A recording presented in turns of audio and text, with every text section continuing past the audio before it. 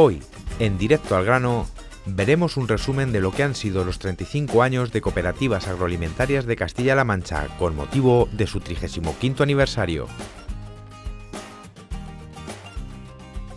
Asaja nos da a conocer cuál es el trabajo del grupo operativo Salud Girasol.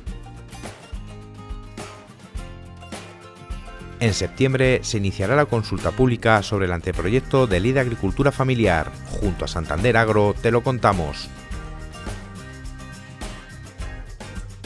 ¿Cómo se puede medir la biodiversidad en finca? Lo averiguamos gracias al proyecto TIC4Bio. Y por supuesto, los precios que más te interesan. Todo esto y más, en directo al grano.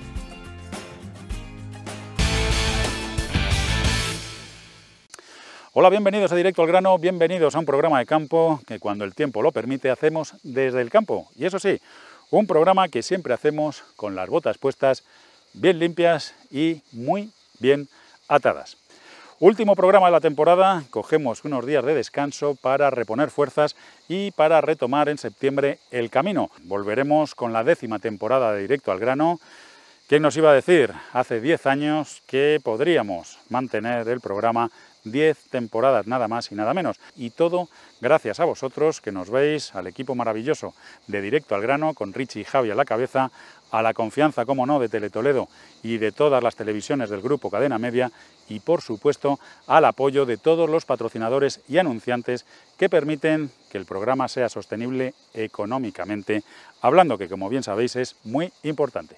Dicho todo esto, no me entretengo más, arrancamos el tractor, arrancamos directo al grano y lo hacemos viendo un vídeo de cooperativas agroalimentarias de Castilla-La Mancha en el que se hace un repaso a sus 35 años de historia. No os lo perdáis, que realmente merece la pena. El sol, la tierra, el agua,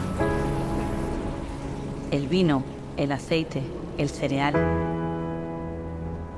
pistachos, champiñón y queso, leche, fruta y tantas cosas ricas.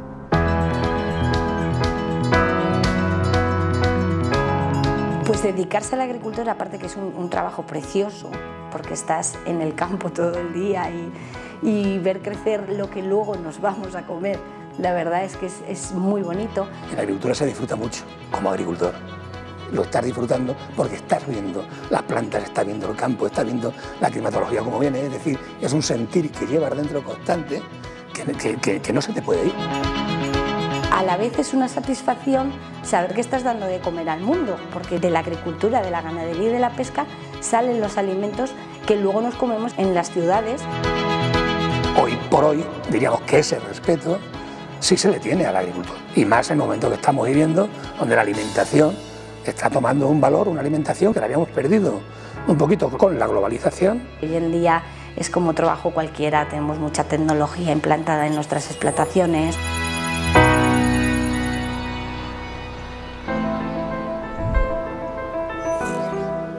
Hoy las cooperativas están jugando pues, un papel fundamental. Las cooperativas nos han servido de pilar fundamental a lo largo de toda la historia eh, porque sin ellas eh, posiblemente la rentabilidad de nuestras explotaciones eh, no es posible. Nuestras empresas demuestran que cooperando todos avanzamos. Muy poca gente se queda atrás. Porque a la hora de vender nuestros productos, si estuviéramos en el mercado libre y que nadie controlara un poco los precios, estaríamos siempre a merced de los, de los compradores que hay externos. Entonces en la cooperativa siempre te defienden y siempre intentas sacar el mayor beneficio para los agricultores y para la propia cooperativa. Las cooperativas a lo largo de los últimos 30, 35 años han cambiado muchísimo. En general se han modernizado. Las cooperativas de hoy no son las cooperativas de los años 80. Son empresas modernas, son empresas que están creciendo.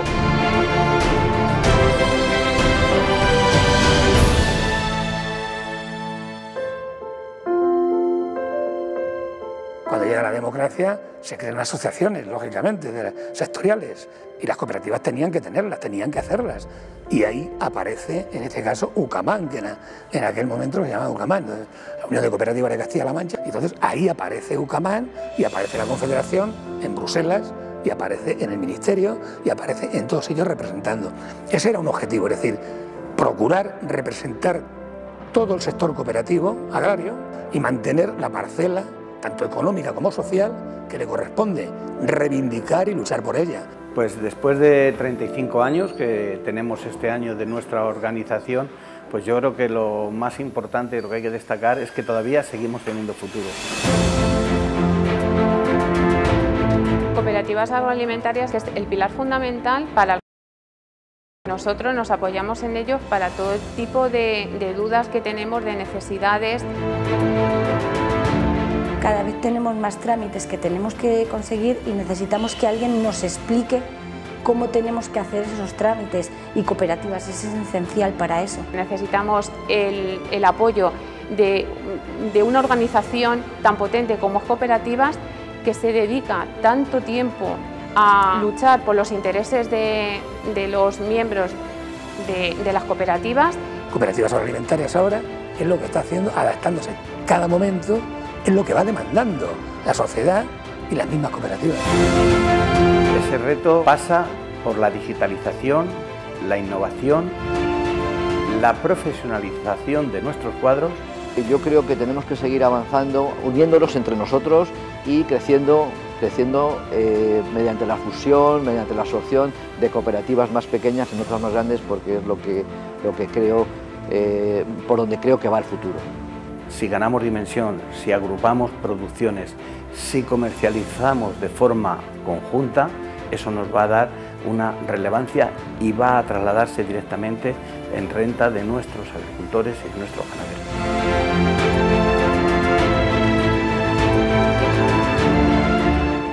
Futuro de medio plazo, vamos a ver reducida de forma importante eh, nuestra masa social eh, en el territorio. Eso hay que compensarlo de alguna forma. Se va a compensar con digitalización, innovación, nuevas técnicas de, de trabajo en la agricultura. Necesitamos el mundo rural, necesitamos hacer nuestras eh, empresas agrarias más rentables para así atraer a los jóvenes y que se queden aquí. Yo creo que ya es una realidad el trabajar para la incorporación de la mujer. El 50% de la sociedad son mujeres, no pueden estar al margen de nuestra actividad diaria en nuestras cooperativas y de nuestra actividad profesional.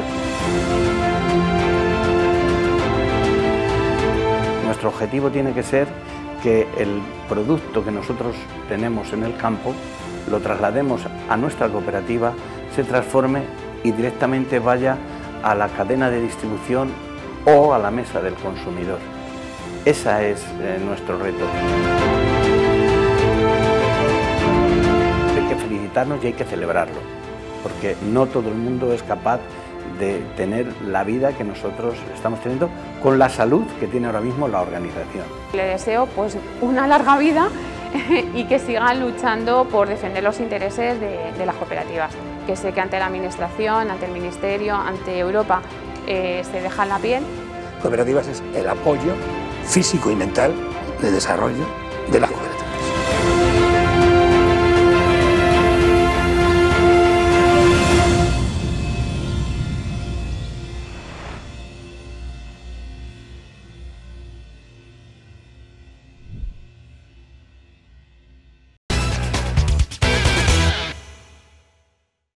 Dentro del proceso de audiencia e información pública del proyecto de Real Decreto que modifica la intervención sectorial vitivinícola en el marco del Plan Estratégico de la PAC, las organizaciones profesionales agrarias ASAJA, COAC y UPA reclaman al Ministerio de Agricultura ayudas directas a las inversiones en explotaciones vitícolas, así como condicionar todas las ayudas al sector vitivinícola al cumplimiento de la ley de la cadena alimentaria, además de ampliar las ayudas ante los daños por conejo en los viñedos. Las tres organizaciones agrarias piden incluir una medida de inversiones en explotaciones vitivinícolas dentro de la intervención sectorial del vino que incluiría medidas como la mejora del uso y la gestión del agua, la conversión a la producción ecológica, la introducción de técnicas de producción integrada, la adquisición de equipos para métodos de producción de precisión o digitalización, la contribución a la conservación del suelo y la mejora de la retención del carbono del suelo, la creación o preservación de hábitats favorables a la biodiversidad o el mantenimiento del paisaje, incluida la conservación de sus características históricas o la reducción de la generación de residuos y la mejora de la gestión de estos residuos. Según datos de Agroseguro, la superficie asegurada con partes de siniestralidad hasta el pasado 30 de junio superó el millón 87.000 hectáreas. En las líneas de aseguramiento agrícola se presentaron en la primera mitad del año 68.801 siniestros, con una previsión indemnizatoria cercana a los 324 millones de euros en la línea de ganadería, accidentes, enfermedad y pastos y acuicultura. Los partes se elevan en este periodo a 53.611 con unos 32 millones de euros de indemnización y en la línea de ganadería, retirada y destrucción de animales muertos, los partes suben a 600.777.685 con indemnizaciones previstas por importe de 46 millones de euros. Los cultivos más afectados hasta el pasado 30 de junio son los cultivos herbáceos, con indemnizaciones previstas por importe de 108 millones de euros, los frutales con 78 millones, viñedo con 76 millones, hortalizas con 32 millones y cítricos con 10 millones de euros. Todos ellos representan algo más del 94% del total de las indemnizaciones previstas. Conocido ese primer bloque de actualidad, y eso sí, si el calor nos lo permite, seguimos nuestro camino por el medio rural y por el trabajo de todos los profesionales del sector agroalimentario. Os mostramos a continuación un pequeño vídeo en el que desde Asaja se explica cuál es el objetivo del Grupo Operativo Salud Girasol. Muy buenas a todos, soy Álvaro de Asaja y nos encontramos aquí en una parcela de Girasol para explicaros en qué consiste el proyecto Go Salud Girasol. Es un proyecto formado por Asaja, Pertenagro Biotech la Universidad Politécnica de Madrid y el CEBAS CSIC, que juntos buscan dos innovaciones significativas para el cultivo del girasol en España. Por una parte, se quiere desarrollar un sistema de indicadores que permita evaluar la salud y la fertilidad de los suelos. Y por otra parte, el desarrollo de una guía para hacer sostenible el manejo de este cultivo. Este proyecto nació por el aspecto estratégico del cultivo del girasol en España y para poder realizar un manejo óptimo del mismo. Para ello, evaluamos indicadores de salud como es la profundidad, la densidad y la textura del suelo, entre otros. Esto nos va a permitir monitorear el suelo y aumentar la productividad de nuestros suelos gracias al cultivo del girasol. Gracias a estos indicadores se permitirá evaluar la importancia del carbono, del nitrógeno y de los microorganismos en el suelo que aporta este cultivo. Algo que es de vital importancia para la toma de decisiones informadas, para evaluar la problemática en los suelos y para realizar una gestión óptima del cultivo del girasol en España.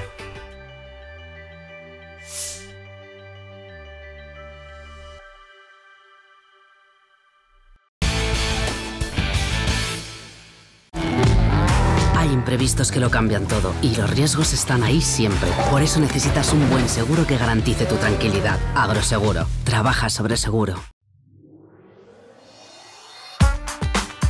El trigo blando panificable baja su valor esta semana. Su precio es de 213,89 euros la tonelada. La cebada pienso desciende su precio, se valora en 191,54 euros la tonelada. El maíz grano baja su valor, que ahora es de 222,54 euros la tonelada. El limón no cambia su precio, se cotiza a 18,47 euros los 100 kilos. La manzana golden baja su valor y se cotiza en 51,27 euros los 100 kilos. El plátano asciende su valor esta semana, quedándose en 136,37 euros los 100 kilos. El calabacín sube su precio, que ahora es de 48,53 euros los 100 kilos. El tomate liso desciende su valor, se cotiza a 50 euros los 100 kilos. La judía verde baja su valor y se sitúa esta semana en 210,30 euros los 100 kilos. La patata sube de precio y ahora cuesta 55,09 euros los 100 kilos.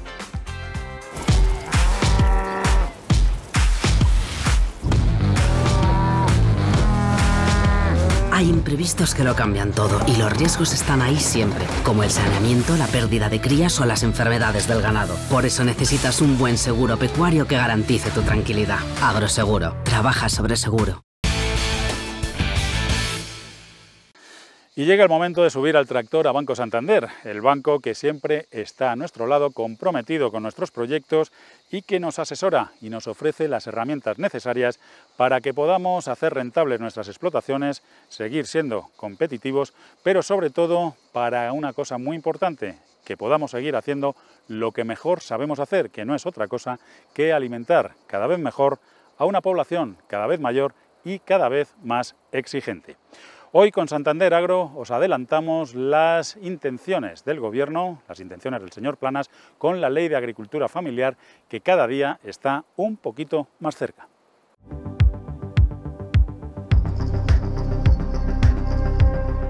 El pasado 10 de julio, el ministro de Agricultura, Pesca y Alimentación, Luis Planas, durante su participación en la presentación del anuario 2024 de Agricultura y Ganadería Familiar que elabora la organización agraria UPA, anunció que el próximo mes de septiembre se iniciará la consulta pública sobre el anteproyecto de ley de agricultura familiar, que abordará cuestiones como la titularidad compartida de las explotaciones o el relevo generacional. Planas recordó que más del 80% de las explotaciones agrarias de España son de carácter familiar, circunstancia que nos permite un mayor arraigo, mayores posibilidades de ingreso para nuestros agricultores y una vinculación social, económica, territorial en nuestro medio rural que genera unos efectos muy interesantes también desde el punto de vista del cuidado medioambiental y de nuestra biodiversidad. Para dar contenido al anteproyecto, el ministro indicó que va a hablar con todas las organizaciones agrarias, con la intención de incluir también a Unión de Uniones, ya que a juicio de Planas no se trata de echar a nadie, sino de que los agricultores y ganaderos estén mejor representados. Luis Planas insistió en que no es una competencia entre organizaciones, sino un mecanismo de representación institucional y se está trabajando para resolver la parte jurídico-institucional del reconocimiento de Unión de Uniones. La intención del Gobierno es que a finales de año o a comienzos de 2025 esté listo el anteproyecto para una primera lectura en el Consejo de Ministros. Cabe recordar que la Ley de Agricultura Familiar es una de las principales apuestas del ministro Planas para la presente legislatura. Una ley sólida, fruto del consenso entre los diferentes integrantes del sector, será fundamental para el futuro de este modelo de agricultura tan necesario para mantener la actividad del medio rural español y poder combatir los problemas del despoblamiento y el relevo generacional.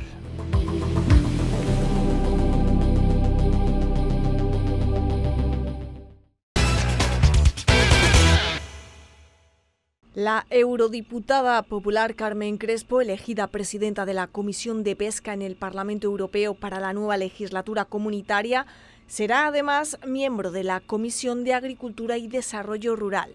Los otros españoles que formarán parte de la Comisión de Agricultura del Parlamento Europeo son Cristina Maestre por los socialistas, Mireia Borrás por Vox y Alvise Pérez por Se acabó la fiesta. En la Comisión de Pesca, formada por 27 miembros, estarán también Francisco José Millán Mon del PP, Nicolás González Casares, socialistas, Ana Miranda, BNG y Nora Junco se acabó la fiesta. El secretario general de Recursos Agrarios y Seguridad Alimentaria del Ministerio de Agricultura, Pesca y Alimentación, Fernando Miranda Sotillos, ha sido nombrado consejero de Agricultura, Pesca y Alimentación en la representación permanente de España ante la Oficina de las Naciones Unidas y los organismos internacionales, con sede en Ginebra. Fernando Miranda ha estado en el organigrama del Ministerio de Agricultura, Pesca y Alimentación con diferentes responsabilidades desde 2002, tanto con gobiernos del PP como del PSOE ha formado parte del equipo del actual titular del Ministerio, Luis Planas, desde su nombramiento en 2018, si bien en anteriores ejecutivos también había ocupado puestos de responsabilidad. Para sustituir a Miranda, el Gobierno ha designado a Ana Rodríguez Castaño como nueva secretaria general de Recursos Agrarios y Seguridad Alimentaria del Ministerio de Agricultura, Pesca y Alimentación. Hasta la fecha ha sido directora general de Producciones y Mercados Agrarios. Dejamos la actualidad a un lado, continuamos nuestro camino aquí en Directo al Grano. Como bien sabéis, hablamos mucho, muchísimo de conceptos ligados al estado del medio ambiente y uno de ellos, probablemente el más utilizado, es el de la biodiversidad. Un concepto que muchas veces parece algo abstracto, pero que también puede medirse y también puede cuantificarse, como efectivamente vamos a ver a continuación. Os dejamos con un vídeo de Covalia en el que a través del proyecto TIC for Bio vamos a ver cómo se puede medir esa biodiversidad.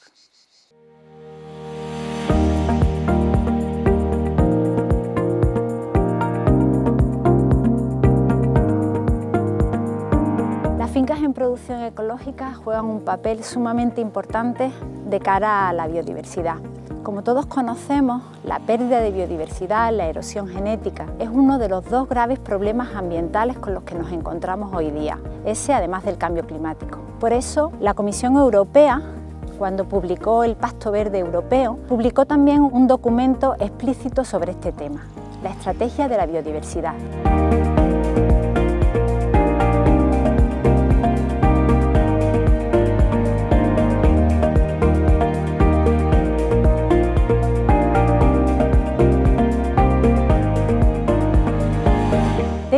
Este proyecto T4Bio hemos incluido parámetros para poder medir la biodiversidad en las fincas ecológicas y poder llegar a altos grados de biodiversidad en las fincas.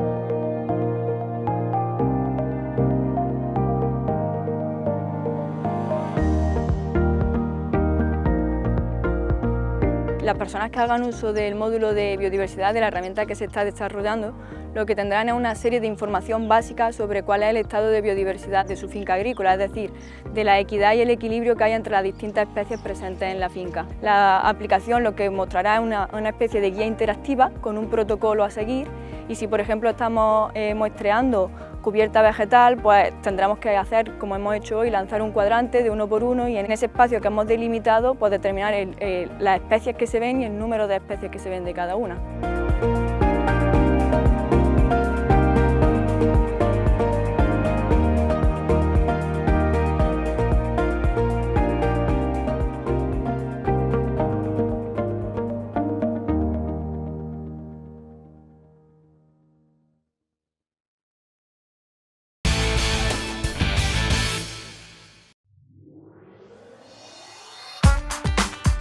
La ternera de entre 180 y 300 kilos desciende su precio, se queda en 520,18 euros los 100 kilos de canal.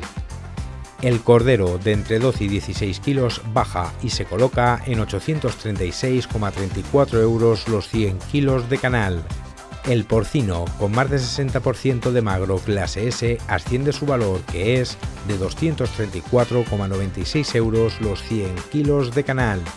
El lechón de 20 kilos baja su precio, quedándose en 72,09 euros la unidad. El pollo, con el 83% de rendimiento, baja su valor, que es de 211,85 euros los 100 kilos de canal. Los huevos tipo suelo clase M mantienen su precio esta semana, que es de 1,35 euros la docena. Los huevos tipo campero mezcla clase L y M tampoco varían de precio, quedándose en 1,73 euros la docena. El conejo joven de 1,8 a 2,2 kilos vivo asciende su precio, se cotiza en 221,73 euros los 100 kilos. Y después de esos precios ganaderos llegamos a la cita a la que nunca faltamos, la cita más importante. Llegamos a esa cita con la buena noticia de la semana. Vamos a verla.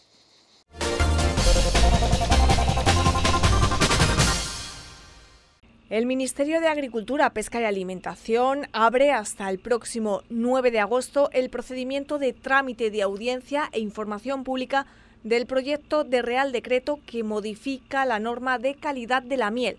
La nueva norma obliga a indicar en los envases el listado de países de recolección de la miel y a señalar el porcentaje que representa cada uno de ellos en las mezclas en el campo visual principal de la etiqueta. También se elimina la variedad miel filtrada y se establece que aquella miel a la que se le haya retirado una parte importante del polen será considerada miel para uso industrial y no podrá comercializarse directamente al consumidor final. El polen es un componente clave de la miel y proporciona un vínculo con su origen botánico. Estos cambios supondrán más transparencia e información que fortalecerán el mercado nacional y favorecerá una mayor competitividad de las mieles de origen español frente a las mieles importadas. Ya sabéis que siempre terminamos con la buena noticia para poder despedir el programa con una sonrisa. Acabamos la temporada, volveremos en septiembre y lo haremos con las pilas cargadas y con las botas puestas para, eso sí, arrancar el tractor en la décima temporada de Directo al Grano. Gracias por haber estado ahí, gracias a todos los que apoyáis el programa, a todos los patrocinadores y anunciantes y, por supuesto, gracias al equipo de Directo al Grano, porque sin ellos todo esto sería imposible. Y nos despedimos como siempre, que tengáis un buen día de campo, que tengáis un buen día de mar y sobre todo acordaos de que al menos tres veces al día necesitamos a un agricultor, a un ganadero, a un pescador o a una industria agroalimentaria. Así que no os olvidéis de valorar todos los días su trabajo. Que tengáis un buen mes de agosto y nos vemos en septiembre con la décima temporada de Directo al Grano. Un abrazo a todos.